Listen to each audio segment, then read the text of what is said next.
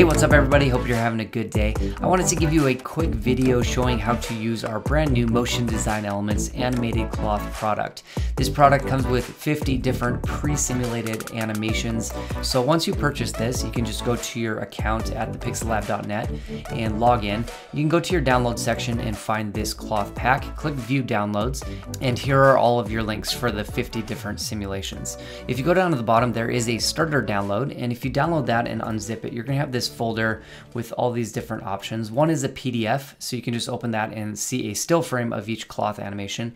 It has a few tips for using it down here as well. Or if you wanna see the full animations, you can click on the folder here, so you can quickly preview them and pick the animation that you want to download. All right, so we're gonna pick number 21 as our sample here for this tutorial. So we have a high res and a low res option. The low res is great if you have a very heavy scene and you're just working on setting up your animation, then you can swap it out for the high res at render time. So we're gonna click on Animated Cloth 21. I already downloaded it, so we'll jump into Cinema 4D and we'll import it. Let's go to our folder structure. And when you unzip that download, you're just gonna have a single uh, .abc file and you can click and drag it into your scene. And if you hit OK, it's gonna make a new scene.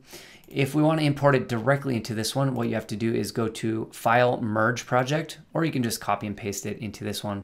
All right, so we're going to find that 21. We'll double click it. I'm just going to hit OK with the default, and we'll bring that in. You can see that our cloth is down here.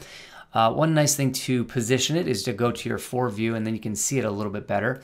We can just take that cloth and position it right around that P. Looks like we want to make it a little bit bigger, so we'll hit T to scale. We'll scale that up, and then we'll just have to reposition that a little bit again. And let's start rotating this, sort of wrapping around this logo. So we can scrub through this, and you'll see that we have this really nice animation pre-simulated and we can just wrap this around our logo and you can see how quick it is to work with. You don't have to do any of the simulations or caching or anything like that and it's really simple.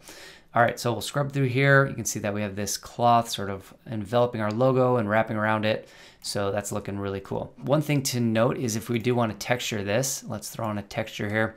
Uh, we also have UVs on here. So if we scrub through here, you can see that that texture is sticking perfectly. So you can put any pattern on without any problems. One thing to note is these do start flat. If we look at this plane, it starts flat and then the animation kicks on. You can really easily just go into this ABC file. And if you go into the options right here, we have a offset and you can just change the offset so that it starts at any point you want to in that animation on frame zero. So we'll start it somewhere around there and then we should be good to go. And there you go, with a couple clicks, you can add a very detailed simulation to your scene and your client doesn't have to know a thing. All right, hope you all found that useful and you enjoy the product. If you have any questions about it, just shoot me an email. If you need any good textures, this cloth texture is from our Redshift Texture Pack 5. And we also have texture packs for Corona, Arnold, and Octane, so make sure to check those out. All right, we'll talk to you next time. Ciao.